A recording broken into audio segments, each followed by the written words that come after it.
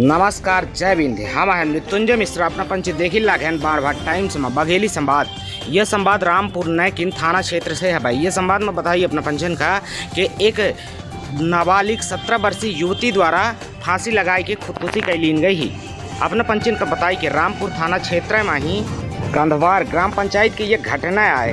प्राप्त जानकारी के अनुसार बताई कि कंधवार ग्राम पंचायत में ही सुमी साकेत, पिता शंभू साकेत, उम्र सत्रह वर्ष, जौन की पढ़ाई छोड़ के अपने घर के काम काज करत रही है। अचानक पिता से बोलिस कि हम जई थे अपने सहेली के यहाँ लेकिन वह लौट के वापस नहीं आई। यह घटना आज सुबह के बताई जा लगी नौ बजे के आसपास के। और बाद में पिता का पता चला थी वह कि ओखर बिटिया फांसी लगा ली नहीं थी। जौने वहीं रामपुर नायकिन का सूचना दिन गए पुलिस विवेचना में जुटी है कि एक मौत के कारण का आया। अपना का बताई कि एक बाई आँख वहीं दागव है, घाव है।